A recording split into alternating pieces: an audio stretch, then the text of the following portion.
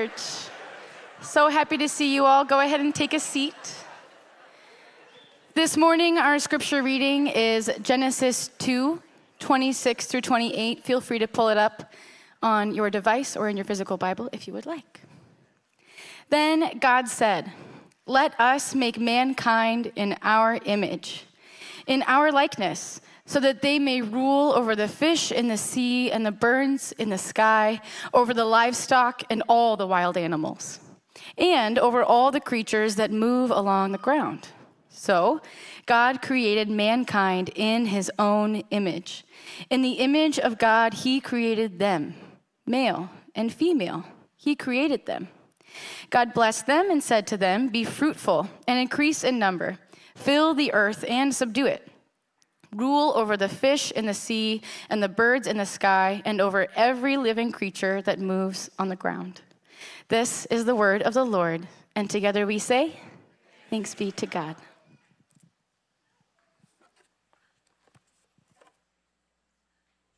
Hey, everybody. Um, welcome to Westgate. Uh, I'm so bummed that I can't be with all of you today. I'm in Chicago gathering with some pastors from around the country. Can't wait to be back home with you, but I wanted to introduce all of you to our guest speaker today. Joshua Ryan Butler is a pastor in the Portland, Oregon area. He's the author of several books, including The Skeletons in God's Closet and The Pursuing God, um, most recently, Party Crasher. Uh, and um, a couple of years ago, wrote a book, a beautiful book that is available in our resource center called Beautiful Union. And today, as we continue our journey through Wonderfully Made, Josh is going to teach us about what the Bible has to say about being male and female and the beautiful window that is into the divine architecture of the world. I can't wait for all of us to learn from Josh, who is also just a dear friend and one of the most kind pastoral um, people that I know. So, would you please give a warm Westgate welcome to my friend, Josh Butler?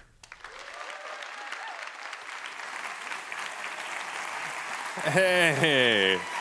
Good morning. Wow. Good morning, Westgate. Thank you for that warm welcome, both Saratoga and South Hills. It is so good to be with you again. Been down here a couple times over the years, and you are beginning to feel like extended family. So thank you for the welcome.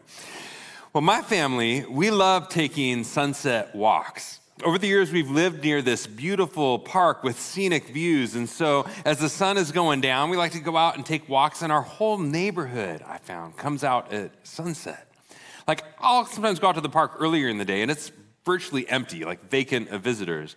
But you come back a couple hours later as the sun's going down, and you'll find like lovers holding hands, you'll find friends walking and talking, kids running around, families having a picnic. We all just love to come out and see the glory of sunset. And I want to ask you this morning why are sunsets beautiful? Why are they beautiful? What is it about that moment when day and night collide that causes us to come out of the woodwork to gaze upon that radiant splendor? Now, sure, you can scientifically dissect it, right? Light rays on sojourn from the sun, they scatter through our atmosphere and ricochet until reaching our retina.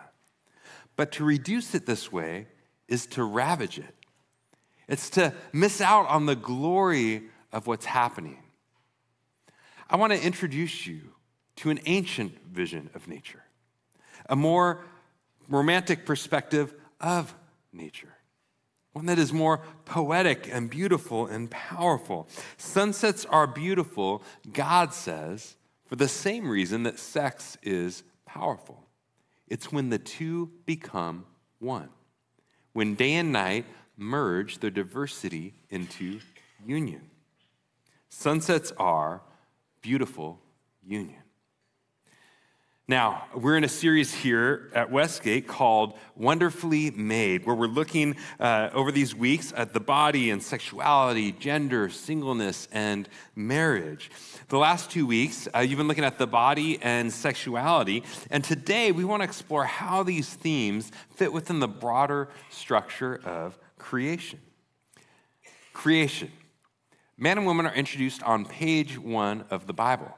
Genesis 1, verse 27 says, God created us in his image, male and female, he created them. What we can often miss, however, is that they are not the only such pair. This is verse 27. And if we work our way back up to the beginning in verse 1, the opening verse of the whole biblical story reads In the beginning, God created heaven and earth. So before man and woman ever step on stage, we step onto a stage of a broader creation, the structure of creation in heaven and earth. Male and female, heaven and earth. Which brings me to my first point this morning that man and woman are together a window into the beauty of creation. Let's talk about the beauty of creation. Genesis 1 introduces us to three marriages, three complementary pairs that are made with and for one another. We have land and sea, night and day, and heaven and earth. On the first three days, God forms these spaces and on the second three days, he fills them with abundance and life. These beautiful pairs now they structure creation. You can think of heaven and earth as framing the hor- I'm sorry, the vertical dimension of up and down. Land and sea is framing the horizontal dimension of side to side. And night and day framing the temporal dimension of time. And guess where the most beautiful places show up? Where the two become one. Let's start with land and sea. Now, the land is beautiful on its own, and the sea is beautiful on its own, but there is just something majestic about when they come together. As the philosopher Peter Kreeft observes, the shore, he says, is the most popular place on earth. Waterfront property, like you got here in California, right? It's the most expensive property anywhere in the world. Because, why is it? Because, he says, that's where the sea and the land meet. That's where man and woman meet. The land without the sea is kind of boring, desert. The sea without the land is kind of boring. When are we going to land the ship? But the place where they meet, that's where all the action is, and that's where we want to be. Now, I'd push back on his claim that each is boring on its own. There is a romantic beauty to the desert, and sailors write sonnets about the sea. And yet, in the bigger picture, he is onto something that there is just something about the beach. We are drawn to this place where the land and sea merge. Its aesthetic is magnetic, right? And we will shell out top dollar for that oceanfront view, whether here on the sun beach, uh, sun-kissed beaches of California, or on the rocky coasts of Northern Ireland, or on that island resort in Thailand. There's just something about the beach. Now, coasts are just the largest example, I would suggest, where colossal continents tangle with their tectonic match in oceanic bodies of water. And yet, the magic works on smaller scales too. Think about it. Historically, cities are built along rivers, cabins pop up around lakes, and oases sprout up in the desert. Because where soil and stream collide, life can emerge. Not only life, but also beauty. When river and rock caress, beauty is. As a buddy of mine, Brett McCracken, observes, uh, that river and rock together form a mutually formative marriage. Think about it. What are waterfalls but water traversing rock? What's the Grand Canyon but rock carved out by water? As McCracken observes, he says, Water and rock together are nature's most beautiful artistic pairing. Water can erode and mold and smooth rock. Rock can guide and contain and filter water. Their wrestles are necessary and good, and they create beauty. That's why we flock to these places artists and painters and poets and photographers and tourists. Like we go to the Cascades and the snow capped glaciers and the geysers and uh, these mountains with, covered in snow, because where these two become one, it's awe inspiring. All right, so land and sea are our first pair. They are a complementary pair made with and for one another. And when they come together, it creates a holy space where beauty is formed and life can emerge. now let's move to our second pair day and night. Now, once again, day is amazing on its own. Most of life happens under the sun, and night is beautiful on its own. There's just something about camping under a blanket of stars. And yet, something magical happens when they meet up for their twice daily tryst, right? Sunset and sunrise are spellbinding. Now, there is a good reason that our neighborhood comes out at sunset. It's glorious, right? Like sunset is that moment when the sphere of energizing light crosses the border of the horizon and sinks into the womb of darkness, erupting forth in a volcanic explosion of color like sparks of euphoria flying from lovers in ecstatic embrace.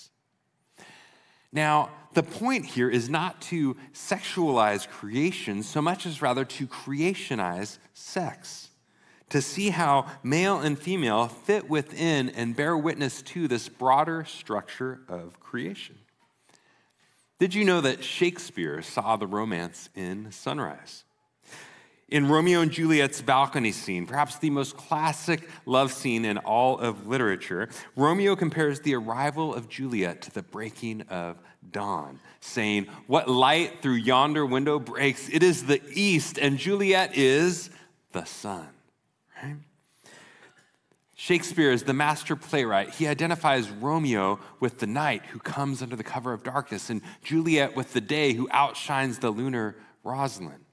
And he sets this moment uh, where they come together at sunrise, where they pledge their love and they hatch their plans to marry.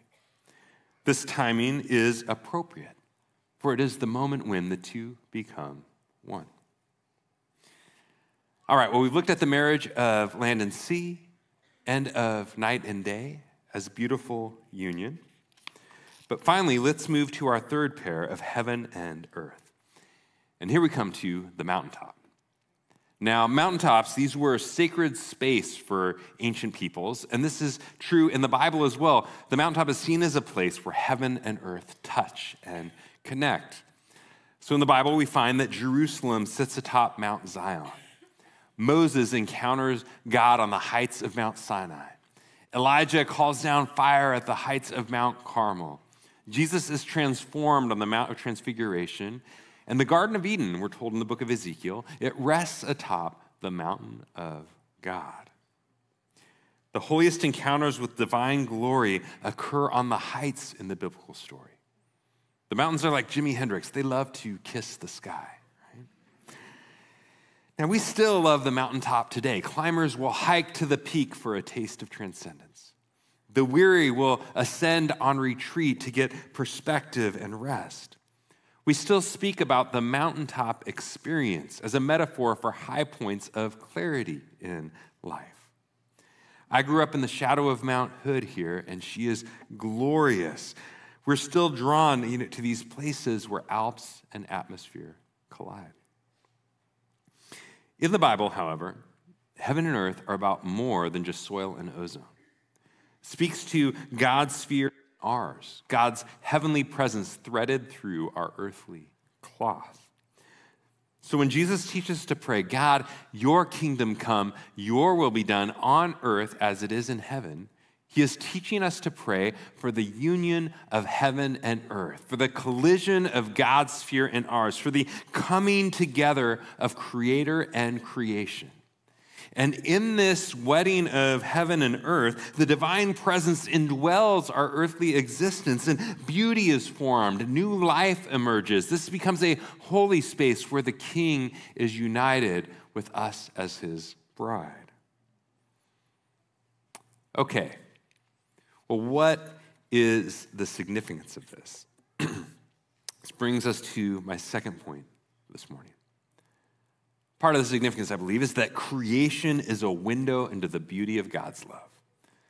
All creation is a window into the beauty of God's love. The beauty of God's love for you, that you were made by love, in love, and for love, the love of your Creator that the marriage of heaven and earth, land and sea, night and day, and male and female points to a reality greater than them all, which is that you were made to be united with God. God not only created the world for diversity and union, He created you for diversity and union, that you, and all the diversity and uniqueness of your being and particularity of your story, would find yourself connected to and united with your Creator, the Maker of the universe, that you would know Him in a way that He would come and you would be united with God in Christ and know this love that floods the world. Every sunset is a reminder. Do you believe that? How would it change your life if you really did trust that that was true. All the world bears witness that you were made for diversity and union, to be united with God in this affection that floods the world. Now, some people today, listen to the word on the street, some people today say that the world is meaningless. The sun's burning out, and we're all just going to kind of descend into frozen darkness eventually, but don't you believe it. Nobody believes such things at sunset. We're too captivated by the glory and the radiant splendor. All is full of love and the mortal words of the great artist Bjork. you live in a beautiful creation, and God not only loves the world, but God loves you. So much so that he came in Christ to be united with you forever. And this can be hard to remember when you doom scroll the news and see, see wars and rumors of wars. When your friend stabs you in the back and you find yourself feeling isolated and alone and betrayed. When that diagnosis comes back and your mortality comes crashing through your front door like a battering ram. Do you know what I recommend doing at such times? Is go outside. Look up to the mountains. Hike one if you can. Walk by the water and soak in those signs of life. Gaze like a child upon the sunset and let the rhythm of creation remind you in your bones that the sun will rise again. The beauty of creation has a structure and a stability that speaks to God's great love for you. Whether you're single or married, young or old, you are made for beautiful union with God. This is the greater union that you were made for, for beautiful union with God. All right, so what does all this have to do with sexuality, gender, and our bodies? Everything. God saves the best for last. God creates humanity as the pinnacle of creation. In Genesis 1:27, God says, "So God created mankind, it says, God created mankind in his image. In the image of God he created him, male and female he created them." This three line poem, it is the climax of Genesis 1. And it says, God created us, male and female, together in his image. Meaning we were made to image or reflect realities greater than ourselves as men and women. So, male and female here are a fourth and final complementary pair, created together for the beauty and life of the world. As the theologian N.T. Wright puts it, he says, The man and woman together are a symbol, a symbol of something which is profoundly true of creation as a whole.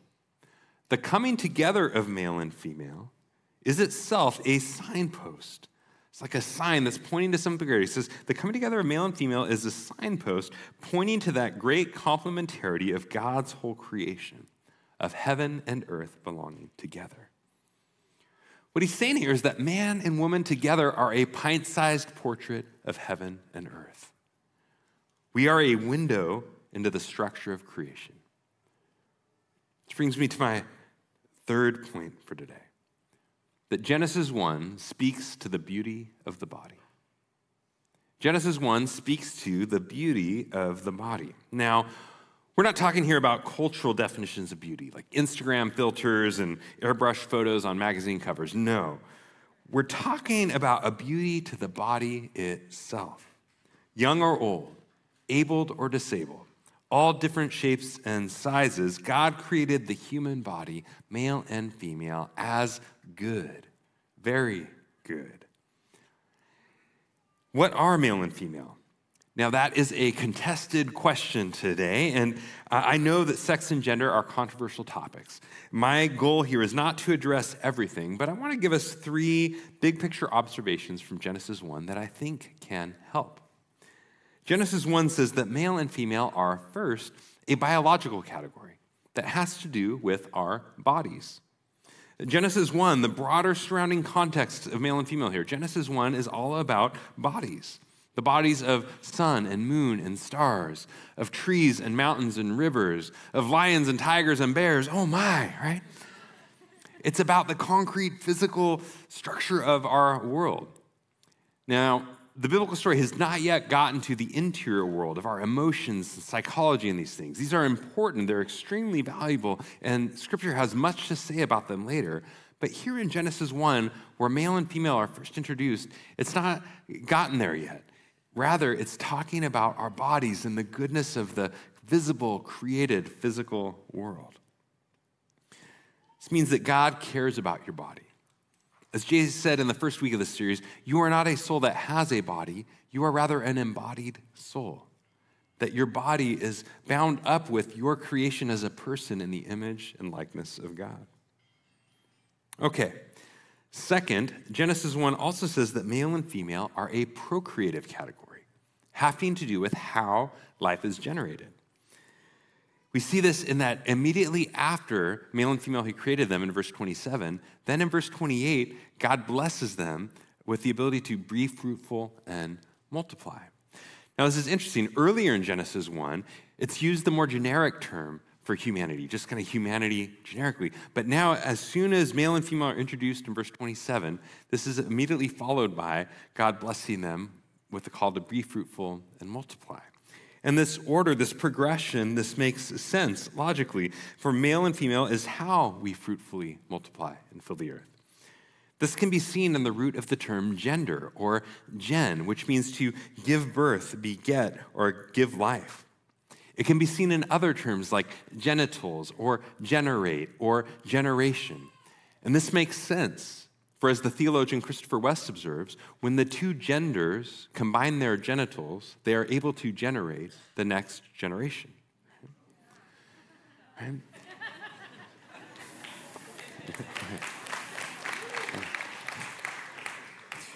so male and female, in short, have to do with how life is generated. Now, I recognize pastorally that this can raise painful issues for some of us the reality, the painful reality of infertility right? And I believe this helps, rather than diminish that pain, I believe it helps explain why that experience can be so painful. And if that's you this morning, I want you to know that God loves you, that your marriage is just as valuable as any other. And we see throughout the biblical story that God is very close to those who walk the painful road of infertility in a unique and special and powerful way. And I know uh, that many of you are walking together, even here at Westgate, through that experience to support and walk with one another. What we see here what male and female are. Male and female are a biological category, has to do with our bodies. They're a procreative category, having to do with how life is generated.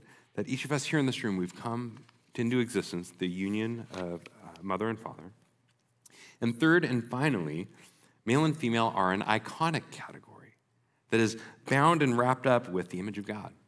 So the context here in Genesis 1:27, where male and female are introduced, is this three-line poem centered on the image of God. And what this means, the, the whole person is the image of God, body and soul, right? It's not just a part of you. Like you, the you, the whole person is made in God's image. And we also see here that male and female are together the image of God. We need both to get that fuller reflection of the divine glory. That a room just with a bunch of dudes or a room with only ladies, we don't get the full bigness of the picture of this diversity and union that God has made to reflect his glory into the world. We need men and women both. We also see that we are created not only in the image of God, but also in a sense, like as an image or a sign of creation, of heaven and earth and the structure of creation. That this means God has inscribed a sacred symbolism in our bodies that points to realities greater than ourselves. That sexuality is about so much more than just pleasure seeking, right? No, it's about sacred symbolism that points us to the structure of heaven and earth, to the nature of our union with Christ as his church, and the life giving power of life through his spirit. This means that your body is sacred. Hear me, your body is sacred. You don't just have a body, you are a body. That you and I, we are embodied souls and, ensouled bodies. That you were made to image or reflect something of your maker, your creator, in how you live through the beauty of your body. All right, well, I want to address a few practical questions that often come up when we're talking about sexuality, gender, and the body. The first question would be this What about singleness? Josh, you're talking a lot about kind of marriage and these marriages, and does that mean that if I'm not married, I'm missing out? No. The beauty is available to us all. The beauty of it is available to you, whether single or married. The reality is that Jesus was single and Paul was single. So if you're single this morning, you're in very good company, right? We find that the New Testament actually elevates a very high view of singleness as equal to, if not preferable at times, to the vocation of marriage. That singleness and marriage are both uh, equally valuable vocations in the kingdom of God through which we can love and serve God in our place in life. And the reality is that you can have the reality without the sign that you can have the reality of union with Christ without the sign of marriage that points to it. This means that you get the movie without having to sit through the sneak preview, right? Like you can enjoy the full meal without waiting through the appetizer. That the reality is we can have this reality of union with Christ whether or not we have the sign. This means that if you are uh, single and don't want to be, or single and do want to be, whether you have a marriage that's great or a marriage that is struggling, some of the loneliest people I know are married. And wherever we're at our place in life, this union with Christ is available to us in God. I love how Jesus is both. Jesus in his own life, Jesus is both the great bachelor who gives up sex and marriage and family on a horizontal level but he is also the glorious groom who gives his life for his bride on a vertical level. That Jesus, hear that again, Jesus gives up sex and marriage on a horizontal level in order to give his life for the reality it points to on a vertical level the union with him that we were made for. This is countercultural. This high elevated vision of singleness, this is countercultural because we live in a culture that often will say you have to have sex or marriage or whatever in order to be fully fulfilled or have a truly meaningful life. And that's hogwash. That's not true, right? There was a movie that came out years ago called uh, The 40 Year Old Virgin with Steve Carell, right? And that title was kind of like a joke, right? Like there was this sense of like, ah, he's 40 and he hasn't had sex. Wow, you know, like it was almost like just a, implied in our culture this sense of like, oh, it's kind of humorous or comedic. But here is the problem that Jesus was a 40 year old virgin, right? Or at least a 33 year old one. And Jesus lived the most fully human, meaningful, God glorifying, life filled life that anyone in human history has ever lived. And this means that you do not need sex, marriage, or family in order to lead a uh, biological family, in order to lead a fulfilling, fully meaningful, fully human life. As the church, we need to counter, live into this countercultural vision where both, whether single or married, we are able to live into and point into the greater sign of our union with Christ that God made marriage to point to. Okay, well, a second question that can come up here is uh, what about when God says no? Like when God says no to certain uh, sexual practices, right? We can struggle with these, but I believe that the beauty of God's vision helps explain why God says no. That the beauty can help explain the brokenness. Let me explain what I mean. If this is ultimately about image bearing, then this helps explain why adultery is so tragic. Helps explain why God says no to adultery. Adultery is so tragic, not only because of what it does to your spouse, but also because of what it says about God. God is a God who doesn't cheat. God is faithful. God is loyal. And God says no to adultery because he wants us to reflect, to image, to bear his image accurately, to reflect his character towards our spouse. And so when we cheat or when we have an affair, it's not only what it's doing to them, it's what it says about God. It raises the bar on how we live because it's actually, this is wrapped up with whether our deepest vocation to reflect and bear God's image well in the world. It also helps explain why premarital sex is off limits.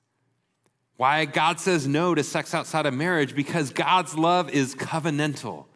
God's love is covenantal, that God commits to you before he unites with you. That as Jesus prepares to go to the cross, he says, where he is going to be fully united with us through death, he says, This is the covenant shed of my blood. Jesus says, I am with you through thick and thin, through good times and bad, in sickness and health, in richer and poor. Not even death will be able to separate us. Jesus is committed to his bride before he unites with his bride. And we are called as men and women and how we approach sexual relationships to embody the same kind of posture towards one another, this covenant, to reflect and image that covenantal love.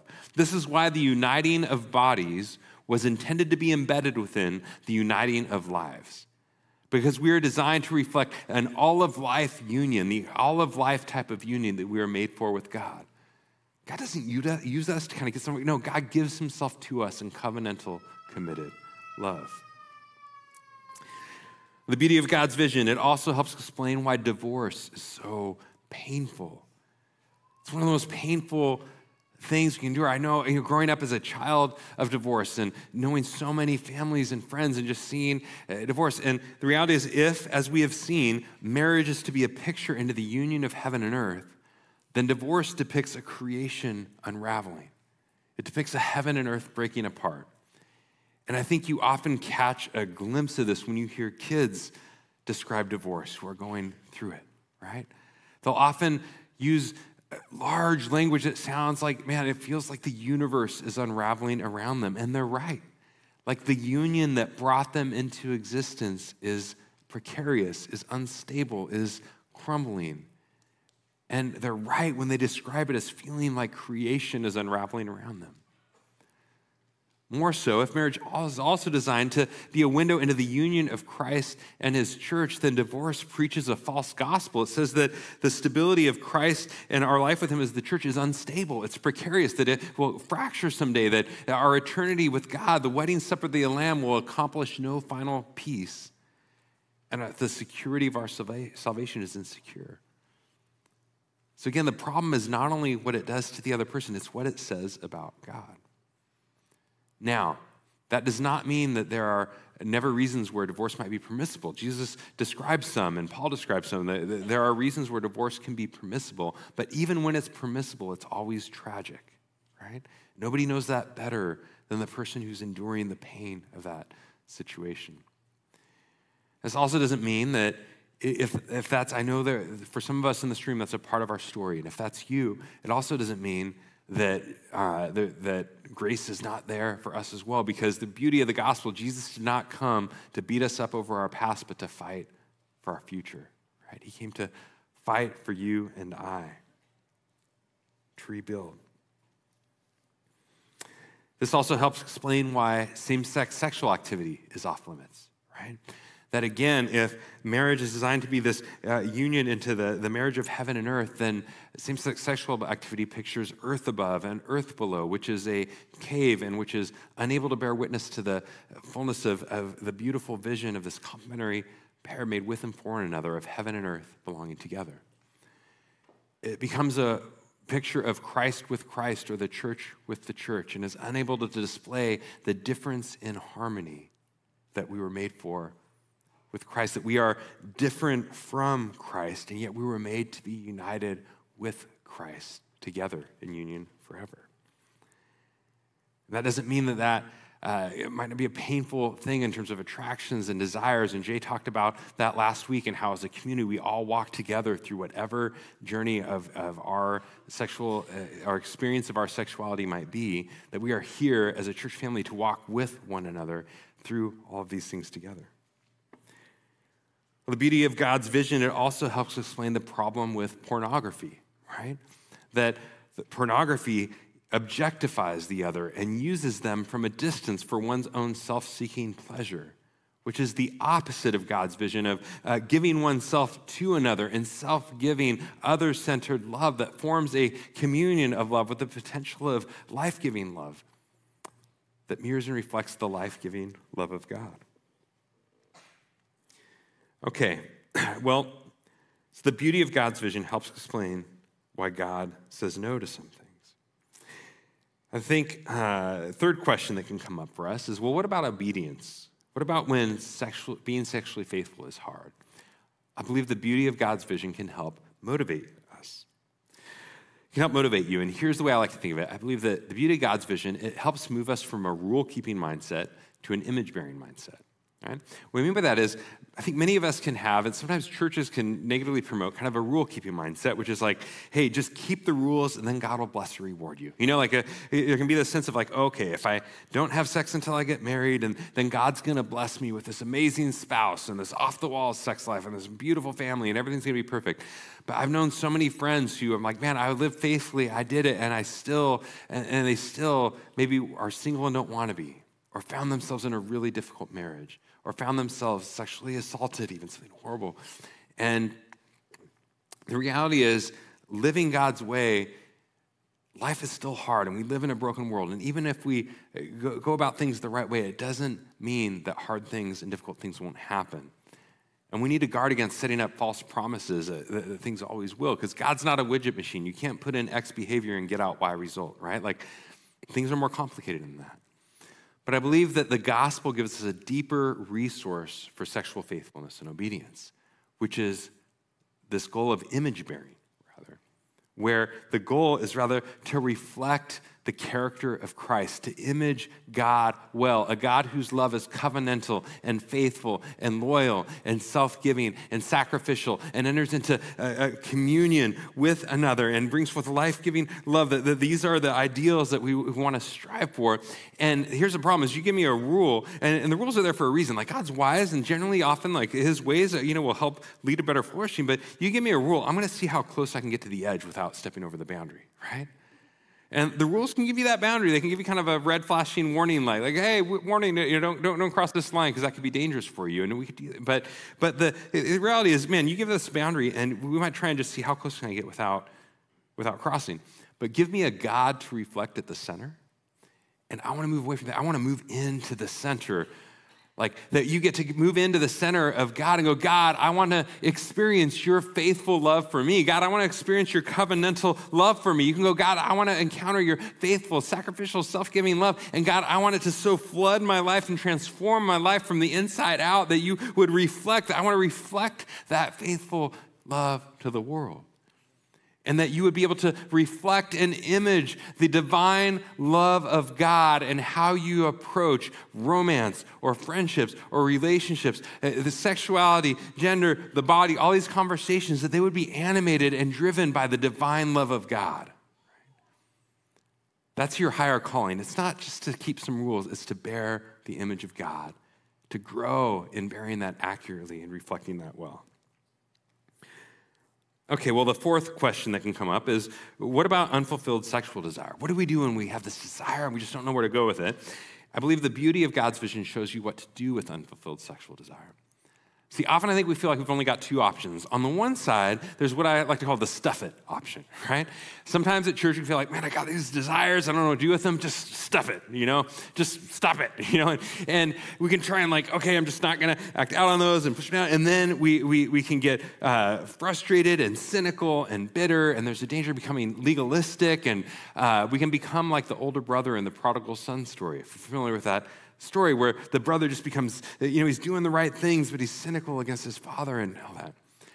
And I think some of us go that route. We feel like, okay, I'm serving God by just stuffing my desires, and we get so frustrated that then we swing to the other extreme, which our culture tells us to do, which is just go for it. Right? It's, it's not stuff it, but just go for it. You do you. Go do what you want to do. Live your life. Have as much sex as you want, as many partners as you want, anywhere. You know, like just just go for it. You do you. And the problem with this is the other is it can lead to lawlessness. It can lead to running in these directions that lead to destructive behavior and things that run, wreak havoc in our lives and hurt other people around us. And you're going that direction, and it can just lead to disaster. And we can become more distant from God as we're living. We become like the younger brother in the prodigal son story, finding ourselves off in a distant land, far from the Father, just living for ourselves. And the gospel, the beauty of God's vision, it offers a third way, saying, hey, don't just stuff it, don't just go for it, rather, redirect it. That those desires that Jay talked about this last week, that sexuality, it's bigger than just sex. Is this a desire, a longing for union? Right? And take that desire, that longing for union, and bring it to God and go, God, you are the greater union I was made for. I want to bring vulnerably my desires, the things that I'm struggling with, the things that I find unfulfilled or unmet, or I'm hurt, or I'm wounded, or I'm broken. I want to bring them to you. And Holy Spirit, I ask that you would minister to me. I want to bring these things to you and ask that you administer to me. I think one of the challenges we can find ourselves going, well, Josh, that's kind of a cheap consolation prize, right? Like, I want the real thing, like sex. And we kind of think that's the real thing. And union with God, that's kind of a cute metaphor. Let me say to you right now, that gets it completely backwards. Union with God is the real thing that you were made for. Sex and marriage, that's the metaphor. God's created that as a sign. But union with God is the greater reality that you and I were made for. And the fact that we often think that that's just a cheap consolation prize shows how far we've come from Christ's vision for us of that being the deeper place where meaning, fulfillment, and fullness of life is found. I found it helpful in this as we come before God vulnerably in prayer with our desires to ask, what's the desire beneath the desire, right? That I think often beneath the desire for sex, the desire often to feel wanted, to be known, a desire for intimacy, to know and be known. And those are all actually beautiful things that God has made each and every one of us for, single or married, wherever you may be at in life. He has made you to know that you are wanted, you are loved for an intimacy as beloved. But ultimately, the place where those are most meaningfully and powerfully found fulfilled is in Christ, is in God. So we can bring Him vulnerably those desires in prayer, encountering and seeking our union with Him. All right, well, the fifth and final question that can come up is what if I've messed up? You might be going, man, Josh, if you knew where I've been and what I've done and all that, man, you might just going, what do I do with that? Well, the reality is that the beauty of God's vision, it is all about grace. It's all about grace. Maybe you're feeling shame right now or guilt over your past, or remorse for things that you've done or that, that you've experienced. And the beauty of the gospel, again, is that God goes after us as a spouse with a checkered past. And He came not to beat you up over your past, but to fight for your future. And in our union with Christ as His bride, in this union, He takes our sin and gives us His righteousness. He exchanges our rebellion for his obedience, his perfection for our rejection. That the beauty of God's vision is it's all about grace. We come to him as we are, and he pours into us, he builds us up, he serves us, he cares for us, and he makes us shine in the radiance of his love. I would suggest to you this morning that God's vision for our bodies is beautiful. It's more beautiful and compelling than anything else our culture has on offer. So you don't need to apologize or be bashful about the Christian sexual ethic any more than you would apologize for like owning the Mona Lisa or living in the Taj Mahal, right? Like it's glorious, it's beautiful. And the beauty of this vision is for all of us. Whether you're married in a good marriage or married, married in a marriage that's struggling, whether you're single and want to be or single and don't want to be, and actually on that singleness conversation, man, a friend of mine and Jay's Nassim is going to be here in a couple weeks talking about singleness even more. And man, you got to be here for that week. She's amazing, and I, am going to be listening on, on that one because I want to hear that message myself. It's so good. But the reality is, this beauty of this vision is for all of us, wherever we find ourselves this morning. The reality is, your body is a sign that points to the beauty of creation and the beauty of God's life giving love for you. You and I, we were made to display a more beautiful union. That God, in His vision for us, God's not holding out on you, God wants nothing holding you back. So the next time somebody asks you, why are sunsets beautiful? You can tell them they are prophets proclaiming a greater reality that you were made for beautiful union. You were made for union with God. All right, well, the band is going to come up, and as we prepare to worship and to receive communion this morning, we are invited to Christ, where heaven and earth meet. We're invited to Christ, where heaven and earth meet. We come to the table of his body broken and his blood shed in the bread and the wine. We come to the bread of his body broken, invited into communion with him. It means union with. We're invited to communion. We're invited to union with our King through the bread of his body broken. We are invited to life with him through the wine of his blood shed for us as his bride. This table, it's all about grace. Jesus not only gave himself to us 2,000 years ago, he gives himself to us today. That Christ our King is risen, ascended, exalted. And as we come to the sacrament, this means of grace, of his body and his blood, Jesus wants to give himself to you today, to meet you wherever you may be at, and to offer you the greatest thing you could ask for, is union with himself. As we come this morning, I invite you to come knowing that union with Him, it is more radiant than the most wild sunset. It is more life giving than where stream and soil come together. That union with Christ is more transcendent than the mountaintop. All these things are signs that point to the greater reality of our beautiful union with God. Would you join me in prayer?